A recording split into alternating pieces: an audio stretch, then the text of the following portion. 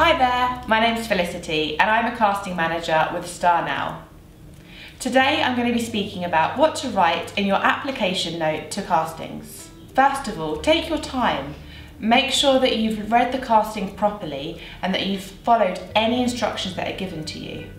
By following these instructions, it shows the casting professional that you're a really easy person to work with and that you could be really easy to direct to. Avoid sending generic emails. Generic emails can be spotted a mile off and it's really important that the casting professional feels that you really want that particular job and that you haven't applied for hundreds of jobs that day and you don't really mind which one you get. If there's a name in the casting of a production company or a casting director, make sure you use that. It shows that you've read the casting and that it's really personal. Keep it short and snappy. The casting professional is going to be scrolling through hundreds of applications and they might just be skim reading those notes. So make sure that you put the important information first.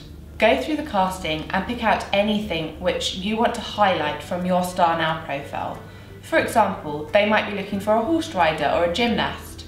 You might want to highlight that you have those skills in your StarNow profile. And they might also say when the casting is or when the shoot dates are. Again, you might want to confirm that those dates you are available for. It shows that you've really read that casting. Remember not to tell the casting professional things that they already know. For example, I'm an actor. If you've applied for a TV casting or a film casting on StarNow and you've got a profile, it's very likely that yes, you are an actor. So, just write things that are important and that they don't know about you. Remember to sell yourself. There's hundreds of people on there, so make yourself stand out.